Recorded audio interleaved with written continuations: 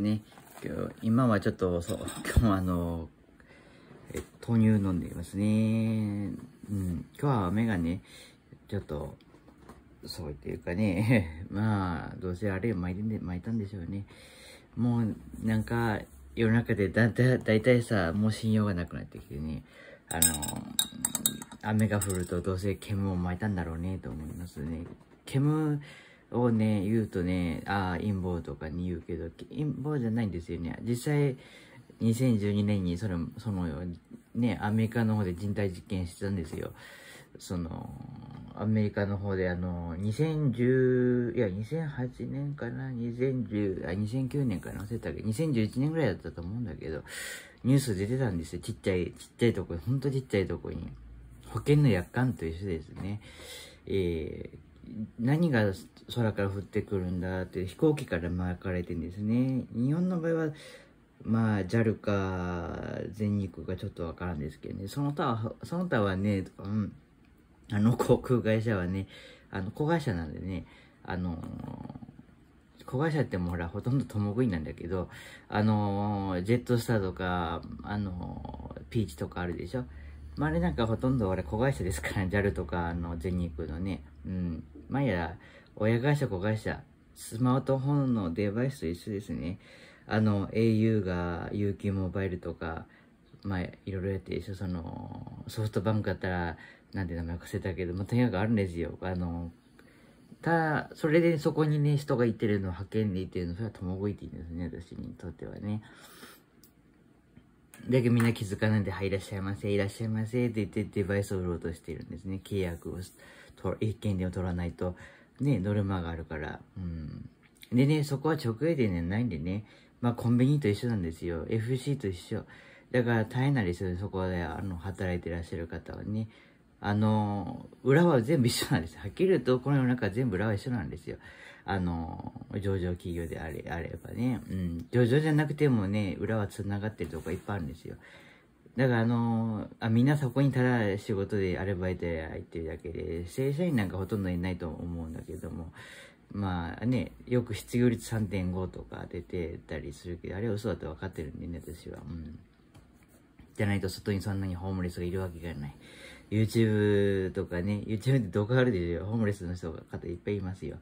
まあ今のね、ホームレスの方は空き缶集めになくてね、ハイテクホームレスって言ってね、スマートフォンであの、投げ銭でね、あの、お買い物する人がいらっしゃるんで、それ良かったかなと思いますね。空き缶とか昔ね、の人は、やっぱり今は汚い社会だから、その、ね、環境問題とか言うけれど、全然環境問題は関係ないんだけどね、あの、あの、資源とかいいでしょう。よく資源物集める。あれ資源ならないですよ。はっきり言わせてもらうけど。ペットボトルとかね、あの、紙とかね。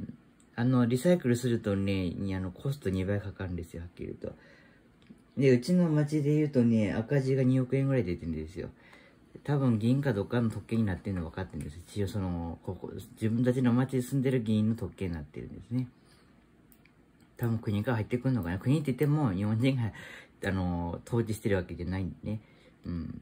まあよく天かす天かすっていうやつもね、違うんですよ。うん。あの、こまあ皇居っていうかね、そこも違うんです。日本人じゃないんです。はっきり言うとね。だけどなかなかみんながね、気づかないんですね。まあしょうがないわけ、しょうがないって言っても時間がもないんですよ、はっきり言うとね。あと数ヶ月とかね、うーん、一、まあね、それが10年とか20年とかあればいいけど、数ヶ月からないし1年、数ヶ月ぐらいなんですね。それでね、どういう結果が出るかわかるんですね。うん。2025年あたりはね、アメリカの白書の方ではね、昔、その、日本、日本はもう地図になかったんですよ。あの、アメリカの、今も属国ですけど、属国なるか、あの、中国の、あの、属国なるかってね、あの、あと1年ちょっと戦いがあるんですよ。戦争なのかそれは知らないですよ。今も戦争中なんですよ。下手する2020から25はね。だからあれでどんどん、まあまあまあということになってんですよね。減ってるんですよ。世界的なね、人がバンバンバンと、まあ言えないけど、まあそうなってるんです。言えないんですけどね。最近は子供まで影響出てるんですよね。うん、赤ちゃんとかね。